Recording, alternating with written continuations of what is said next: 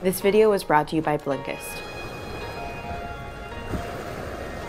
Today, I want to share 22 things I no longer buy. Even as I pursue minimalism, I gotta be real, I still shop. And there's this gradual trickle in of belongings into my home. I'm trying to reduce that flow. I'm constantly thinking about how I can shop less. And I think being more intentional about what I'm not buying anymore, as well as getting excited about the idea of not buying certain things helps me reduce that trickle. I also want to acknowledge that when I say I'm no longer buying these, it means right now I'm not buying them. It doesn't mean I never have or that I never will, just to be truly real with you. Also, part of the point of this video is to talk about my reasoning or themes around buying less so that if you have equivalents in your life, you can identify them and reduce your spending. But in no way am I trying to tell you you shouldn't buy these things. You need to figure out the right balance for you. So, no judgment here. This is just what I'm working on right now. The first thing I'm no longer buying is cable. Cable is often surprisingly expensive. Yes, options often start as low as $30, but a review of public data created by decisiondata.org found that the average cable package cost is actually around $217. That amount per month is more than most households actually spend on all other utilities combined. It's incredible how these packages have these add ons or different options that just increase the price exponentially. And I find that the streaming services that I use cost far less and still provide me with what I want. And that way, too, with subscription services, sometimes if I'm like really into a kick with one show, I can cancel some other subscriptions and then return to them when I want to gain access to them again. It's just nice to have more control over exactly what you want to be watching and what you're specifically paying for. The second thing I'm no longer buying are trendy accessories. I think in general, as I get older, I realize how much trends really don't tend to last that long.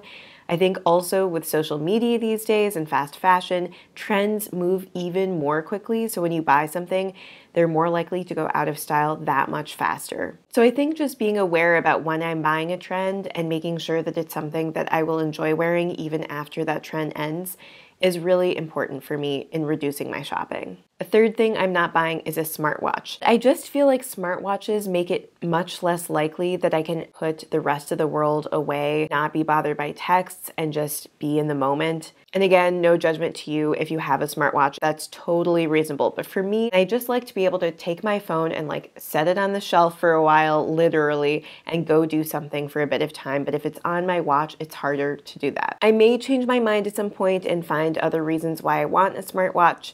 But for now, I really think that the risks outweigh the benefits. And that's a general theme with these belongings. It's like, are the benefits really outweighing the risks or negative aspects of having the item? And it can even be as simple as just like having to take care of the belonging and put it somewhere and have it with all your other stuff that creates more chaos in your life. Just consider is it really worth the cost of the space in my life, the time, the energy that I put into this object? The fourth thing I'm not buying is an iPad. I feel like, again, it's just that issue of having another piece of technology that's distracting, and maybe even more importantly, how often will I actually use it? I just feel like the iPad is redundant to all the other technology we have. A fifth thing I'm not buying is shaving cream. I just find that a lot of good sudsy soap does just as good of a job for me. And I feel like shaving cream is an example of one of those products that's so niche, that's so specific, it can really only be used for what it is. But with soap, for example, I can use that for a lot of different things. So I think sometimes it's those specific products that maybe we can get by without. A sixth thing I'm not buying are extremely expensive designer purses or handbags. I'll also admit I'm not in the know about designer handbags, so maybe it's just not really a passion of mine. But simply put, I think they jack up the prices quite a bit. And I think sometimes those purses that are just those simple, average bags are the ones I end up using the most. I'm not afraid to have them get dirty or get marks on them or to wear them in the rain. I just think it's more practical. Now, I have purchased some, I guess, what would be technically considered designer handbags, and that they're designed by somebody, but usually it's more of like a startup type place. But I don't tend to purchase from like Prada, Chanel, Louis Vuitton. I feel like those companies are doing just fine without me. I also think this brings up the theme of status. And when are we buying something to show that we can afford it or to show some kind of status or importance versus when are we buying something because we actually like it? I think sometimes labels and designer labels get to that space where it's just about showing off. And for me, I just don't think it's worth my hard earned money to funnel into something that just has like a label on it to say something about myself. Again, though, if this is your passion and you really just appreciate a high quality bag, no judgment.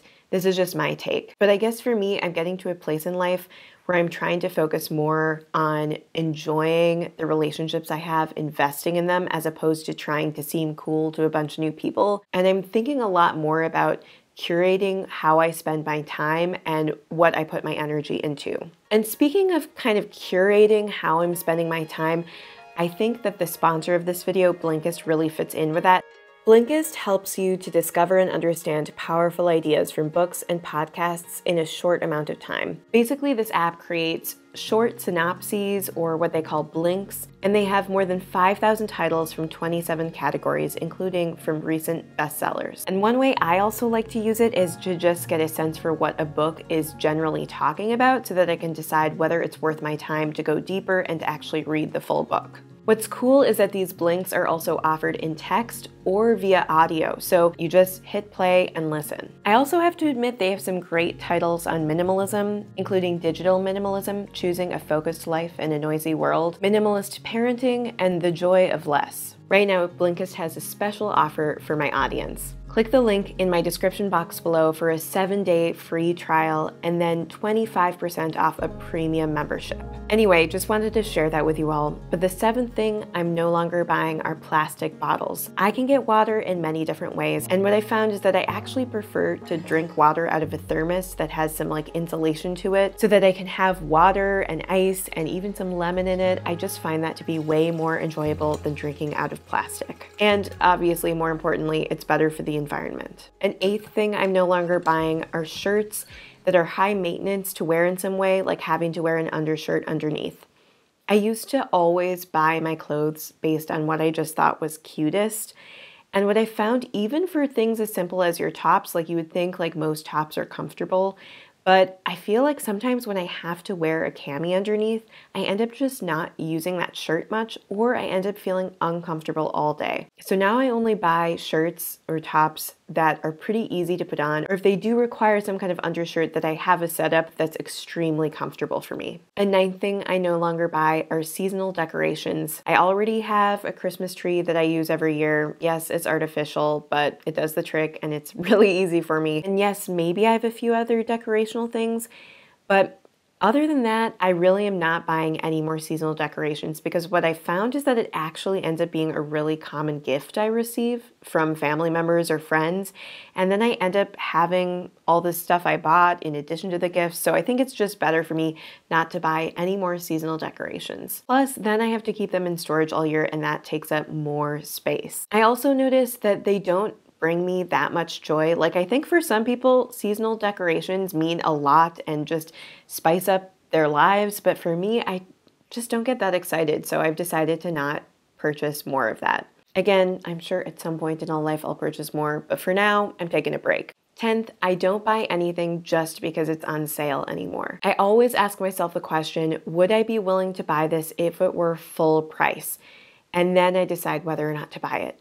I totally did this in the past where I would just buy things on principle because they were on sale and I kind of liked them. But I found that I end up saving more money if I delay purchases and really consider the pros and cons of actually owning the item, especially after all the declutters I've done. I don't want to be buying a bunch of new stuff just because it's on sale, only to force myself to put all the energy into even more decluttering. 11th, I no longer buy specific new hair gadgets. I have a blow dryer, I have a curling iron, but other than that, I'm not going to be buying any kind of like crimpers or secondary types of curlers or that sort of thing. I have what works for me and I don't need to keep purchasing all these very specific gadgets. I guess it comes back to that theme of like having a specific thing for each task. If you can use one thing in multiple ways, it's going to be a lot more beneficial. And I want to say, I know this one sounds very basic, but I was super tempted to buy that like new Dyson hair curler thing that dries and curls your hair at the same time. So cool. But you know what? I already have a system that works for me and I don't need that. A 12th thing I don't currently buy are essential oils. And I think part of it is that there are a lot of potentially shady companies like MLMs around essential oils that don't really have any scientific evidence base for the claims they're making. But even more importantly, I find them to be extremely expensive and I have other more affordable ways of making a great ambiance, like putting on some really good music or turning on the fireplace. I also already have a bunch of candles and I know essential oils are different, but I like candles better, and I already have them, so I'm not going to buy essential oils just because it's a fad right now. A 13th thing I'm no longer buying are new plants. And yes, I'm guessing at some point I'll buy more plants. But for now, I've got so many and I need to focus on tending to them. Plus, what I've noticed is that it's really, really fun to actually propagate them and to make one plant into two, into three. So I've been having more fun with playing around with that.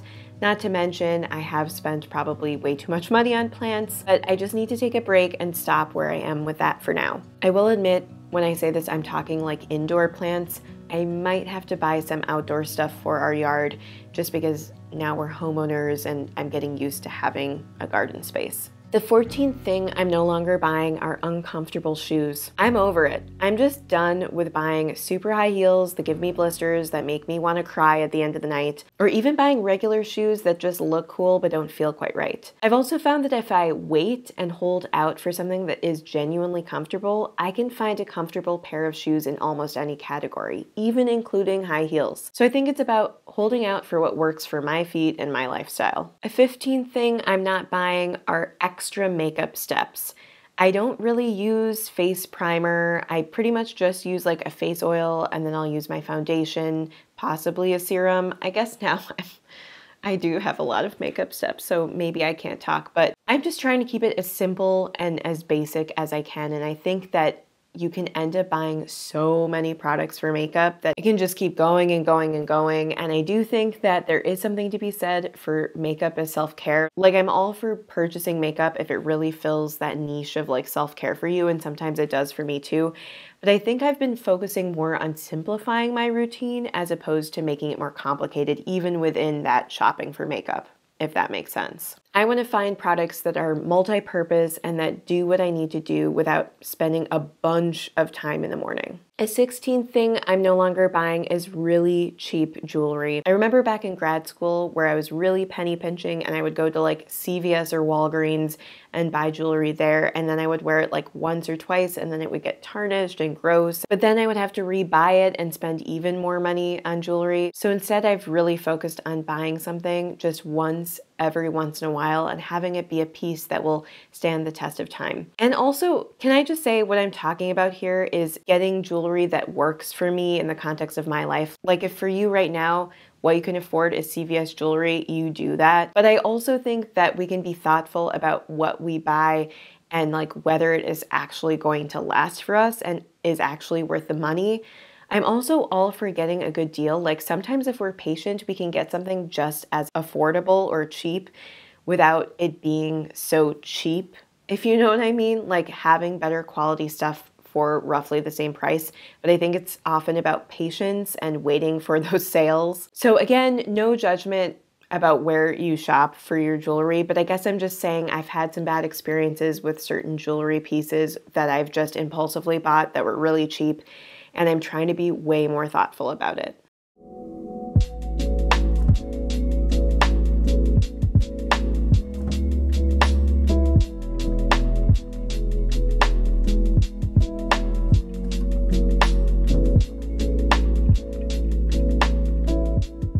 17th thing I'm not paying for is regularly getting my nails done. Yes, maybe once in a blue moon, if it's like a bonding experience or some kind of event, I will get them done, but I'm not getting them done on my own dime on a regular basis. I can either keep my nails really natural or paint them myself. An 18th thing I'm no longer buying is excessive nail polish. I literally have two or three colors total that I like that work for me and that's all I need. Now for you, maybe you enjoy switching it up a lot and adding a lot of color, so this might not apply to you. But for me, I've realized that there are certain colors that I just like better on my nails, and I don't wanna mess with that. So I guess a theme with this one is just like find what you like, what works for you, and don't feel like just because other people like more options than you do that you should want more options. So maybe it's not nail polish, but think about if there's something in your life that you're quite content with only having one or two options. A 19th thing I'm no longer buying are extra knickknacks or decor pieces. And I'm sure eventually I will, but I guess what I've realized is that so often when I buy little things, little trinkets to just like set on shelves, they end up fading into the background. After a while, I don't even notice them. And sometimes I feel like with those things, less is more. A 20th thing I'm no longer buying are jumpsuits. And basically, I already have a couple jumpsuits that work great for me that I really like, and I simply don't need to keep purchasing new ones over and over again. A 21st thing I've decided to stop purchasing are additional hangers. I've realized I have a lot of these. Now, if you need hangers, that's a different story, but I have so many, and sometimes it's like I just end up buying more hangers once I fill them up and then my closet gets more and more cramped. Whereas if I just have a set number of hangers, it helps me follow a one in, one out type of rule. Not that I really truly follow a one in, one out rule, I'm not strict about that, but I think just keeping my closet to have a set number of hangers helps me keep my wardrobe a little bit more minimized. And last but not least, I no longer buy souvenirs. And I'm not saying I'll never buy anything when I'm on a trip, but I'm not going to buy souvenirs just for the sake of buying a souvenir. Like the whole idea that we're supposed to purchase items to remember a trip is just all backwards. Like it goes back to that problem that I think we have in our society of connecting memories and meaning and emotions with stuff. Like, I think we need to disentangle those two things. Just because I don't have a belonging from that trip doesn't mean I won't remember it. There are other ways to remember the trip, like just reminiscing about trips with a loved one or taking photos and looking through photos. I don't need a souvenir to prove to myself that I've had a trip.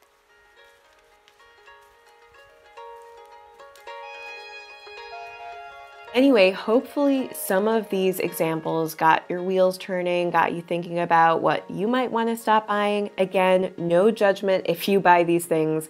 I may buy these things again in the future, but these are just the things that I'm currently trying not to buy, at least for the time being. I also think some of these I instinctually stopped buying, but I didn't really notice it until I reflected on it. So I actually think this is a useful exercise in noticing maybe the progress you've made on a minimalism journey if you're on one, because sometimes you do tend to buy less as you're decluttering and thinking about shopping less, and doing this kind of exercise in your own life can be really satisfying in seeing the progress you've made. Anyway, that's most of what I have for you today, but if you're interested in that Blinkist app I mentioned, you can hit the link in the description box below. And if you ended up enjoying this video, please hit the thumbs up button. Doing that helps it get out to more people. It's a great simple way for you to help support the channel, so if you can take that moment just to hit the thumbs up button, I would really appreciate it. You can also subscribe below for more content like this, and I also have my Instagram and Patreon linked down below. Thanks so much for spending this little bit of time with me, and I hope you have a wonderful rest of your day. Bye.